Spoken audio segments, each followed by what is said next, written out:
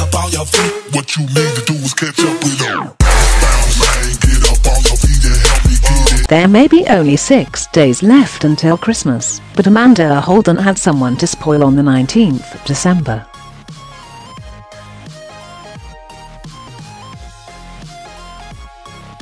The Britain's Got Talent judge, 46, marked her husband Chris Hughes' birthday in a very sexy fashion on Tuesday as she shared a festive surprise.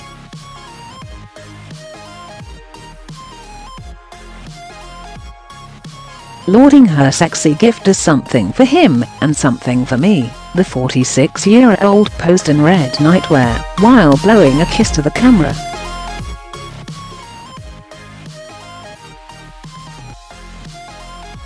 Amanda told fans that it was Chris's birthday after breaking into a seductive version of the 12 Days of Christmas.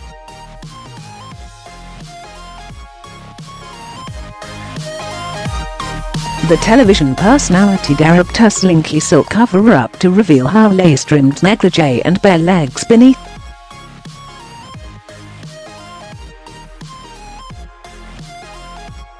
With red stilettos matching her lingerie and manicure pedicure, she was resting one foot on top of a box featuring the day's date.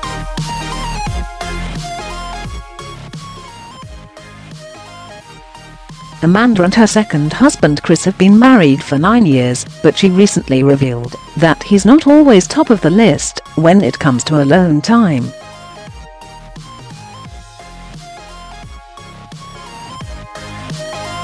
We're both so busy, she told Metro.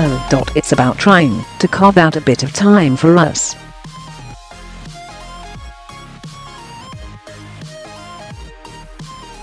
Apostrophe We have to explain to the girls that they must go to bed and let us have time alone, which is hard.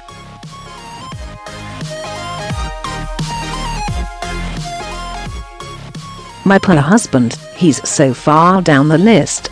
But Amanda has previously revealed how she keeps things in their relationship fresh, admitting in 2015 that they have been known to share moments of passion on the sofa.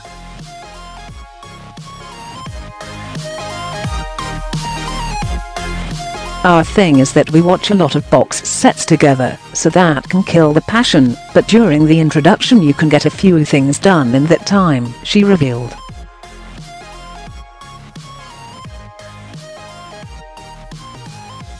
On fancying her husband, she added.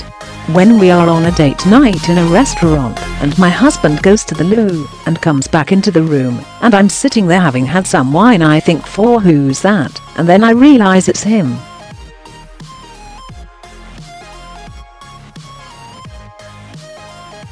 I'm lucky that I still really fancy my husband. Amanda was previously married to entertainer Les Dennis for 8 years, but has 11-year-old daughter Alexa and 5-year-old Holly with Chris.